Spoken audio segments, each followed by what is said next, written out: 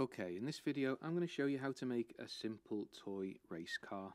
So, again, navigation, hold down the scroll wheel, we can orbit, hold down shift as well and we can pan, and then if we just roll the scroll wheel we can zoom in and out.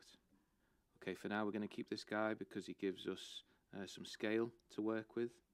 I'm going to start with the body of the car, so I'm going to use the rectangle tool, I'm going to click, drag and drop and I'm going to make this 50 comma 200 50 comma 200 and tap enter. So it's just a small toy race car. Push pull and drag that up. We'll make that 50 as well. What we're going to do is we're going to make the basics of a car and then I'm going to show you how you can make some small tweaks and modifications to it afterwards and then you can be a bit more creative. Alright, let's, for now, let's turn that into a component. So select over the whole thing, right click, make component. And you can call it body. Alright. okay, while that's there, we'll come back to that in a minute and we're going to make the, the wheels. To start the wheels, I am going to use the circle tool and I'm going to hover over just here somewhere and I'm going to make those wheels I'm going to give them a radius of 25 so 25 and enter. Push pull I'm going to drag them out and I'm going to make them fairly chunky. Maybe 25 or 30 I'll make them 25 thick so they're quite chunky tires I'm going to use the offset tool. Click and drag and this will make like a little axis. Again I'll do that at 20 20 and enter. Then the axis needs to be the width of the car so that's 50 so pull that out to 50 type in 50 and enter. And then same again. So offset tool click, drag, and that's 20, isn't it? So reversing what we've already done. Push, pull. I'm going to grab that out to 25 it was, wasn't it? And this bit in the middle, drag that out. And then I'm going to just use the eraser tool to get rid of that. Yeah, that's all. All seems fine. So I'm going to leave that as it is for now. Again, make that a component and we might add some modifications later on. Select over it, right click, make component, you can call it wheels. And let's get these into a sort of a rough position. Okay, you'll have to follow these instructions now. You could just place them, but I'm going to try and be a little bit more specific. Remember that these circles are actually polygons, and you can see there's a there's a corner there, so that's the halfway point. I'm going to grab that outermost point. You know it's the outermost point because it's where it touches the the this box that's around it. So I'm going to grab it there on that anchor point and I'm going to match it up to this point here and then you can see that they're nicely aligned and I'm going to copy this so I'm going to grab it from the other side and I'm going to tap control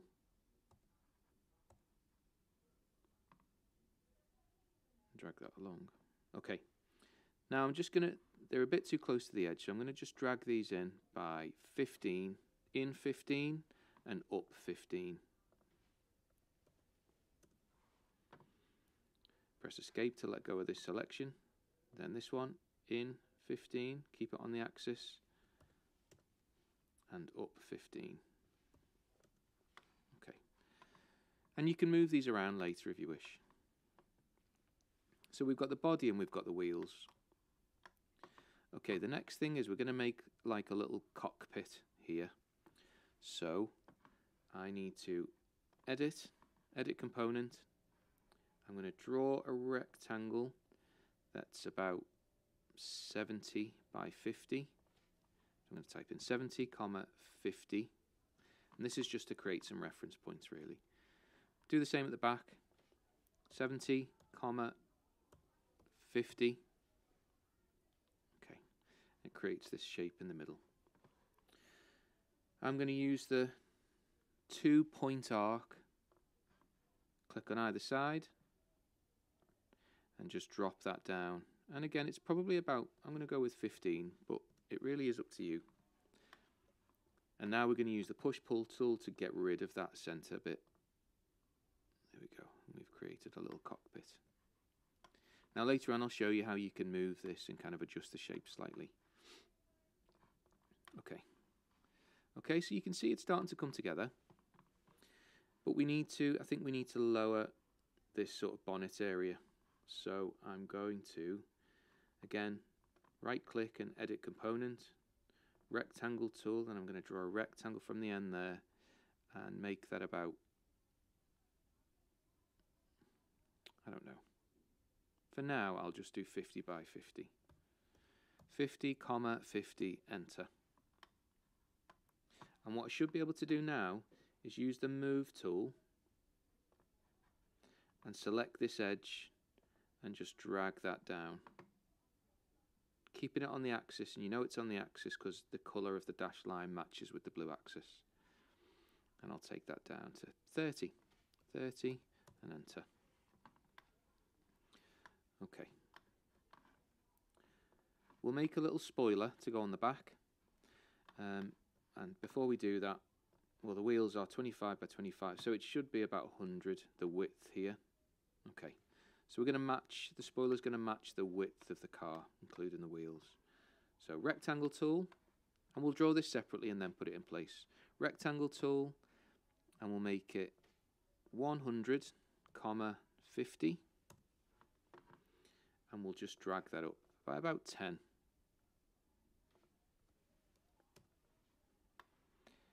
and we need to make that component. So drag over, right click, make component. Um, is spoiler spelled like this? I don't know if it is actually. Okay. Right, we need to move that in position. So I'm going to use the anchor points to do that. Slide along, find that midpoint. There we go. Oh. Right. Zoom in a little bit because it's right near the rotation line. Okay, midpoint and spoiler. Drag that, put it on the edge there and match the midpoints and then we can just slide that forward by about 25, something like that, or mm, 30. There we go, 30. Okay. Okay, and that's that's the basics pretty much. I don't think we really need to add any more details to that. So if you can get to that stage, then that's brilliant. And you might just want to colour some of those parts in and you're all good to go. However, if you want to add some more detail, if you want to kind of tweak the design, we could add some sort of tyres and wheel rims. Uh, get these wheel trims on. And we could maybe add a front um, sort of spoiler or whatever it's called. we could add that on here as well. Okay, the first thing I'm going to do though is I'm going to show you how you can start to move around some of these these parts. So we might want the cockpit to be a you know a little bit further back. If you want to do that, you can do. I'll show you how. We just enter the component, edit component, select the move move tool, and we can drag. Say for example, we can drag this backwards. I would advise you to use specific measurements. So I've just done 10. You could have done 15, something like that. And then it's just a bit more accurate. Easier to change back if, you, if you're not happy. We could maybe move this line here. Again, 15. Oh, 156. 15. And maybe we could grab that whole front there and just drag that out. 20. Okay. Drop that down maybe. A little bit further. Another 10.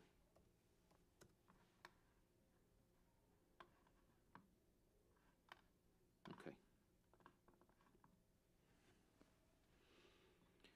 For the wheels, edit component, we could use the offset tool. We can just drag that in, maybe by about five. Use the push pull to drag that in, and that, that only needs to be slight, about two millimeters. And if you want to do more with that, you can do, but I'll leave that up to you. We'll add this little kind of spoiler at the front as well. So I'll double click and I'm going to draw a rectangle just here. Maybe 15 by 5, 15 comma 5. Same on the other side, 15 comma 5, 15 comma 5. And I'll just drag that out. The width of, I think I'll just do it to the width of the wheels. So I'll hover over that, use that as a, as a snapping point. And if you wanted to have it come out at the front a little bit, we can just use the line tool, put a line across here, and pull this out probably by about 5 mil, and just zoom in a bit, use the eraser tool just to get rid of those lines.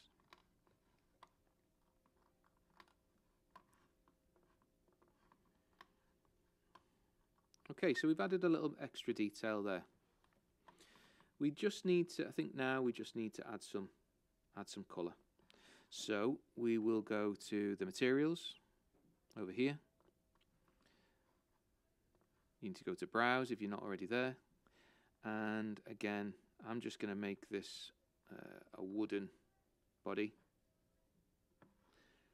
I'll make the wheels, I'll just make the wheels black. Although I don't tend to use black because you don't see any shade when you use black. I tend to use like a dark grey and then you get some more shades in it. You compare that to black. I think grey looks a little bit better. And I don't know. Uh, a red spoiler. For any extra bits, if you want to add colour in, because these are, are components, we'll need to um, edit those components in order to add some extra bits of colour on. So we might want to do blue. Oh, we need to do that side as well. We'll just look at it from this angle for now. And we can do the same to the body as well. If we want to add in some green, we can make that,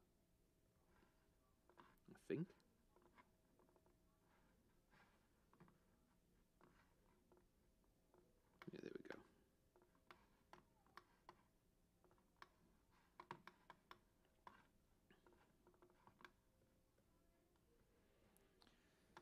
There it is.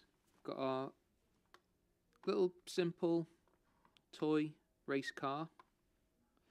And obviously you can add extra detail on there. It's up to you. So be a bit creative and see what you come up with and enjoy.